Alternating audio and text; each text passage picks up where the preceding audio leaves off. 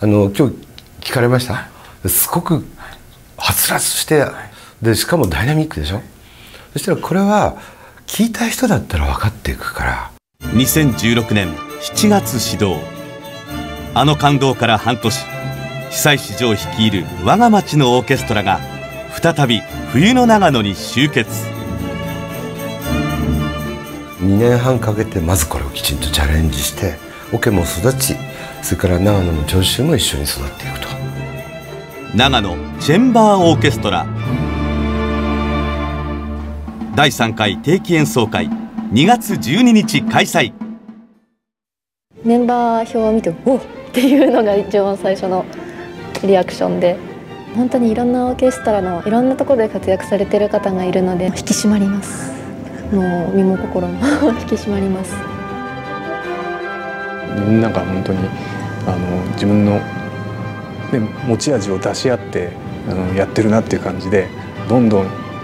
素晴らしいサウンドになっていくんじゃないかなってすごい期待しています。久石さんのこうやりたい音楽をなるべくできるように情熱的な方だなと一緒に作ろうとされている感じがしますね。長野でこういうふうにクラシックと新しい音楽を融合するオーケストラができたっていうのは本当に素晴らしいことなので県内の皆さんにもずっと愛されるようなオーケストラにしたいです地元にオーケストラができるっていうことっていうのがすごく普通はありえない話ですよね。ここにしかない音を作れるっていうのは本当に贅沢な話だと思いますね。ホールがとてもいいのでライブでの音が魅力になってくると思います。ぜひ生で会場で聴いてほしいなと思ってますね。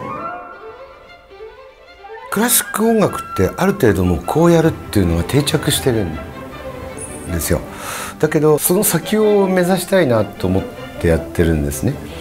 鏡の向こう側でやってるようなどっか遠くでやってるようなこうお上品なクラシックっていう意識はもう全くないんであのちゃんと今に生き吹いてるものを提供したいってそう思ってやってます。ベートーベン・ツイクルスは交響曲第3番と第4番。さらに久石が長野チェンバーオーケストラのために書き下ろした新曲を初演奏。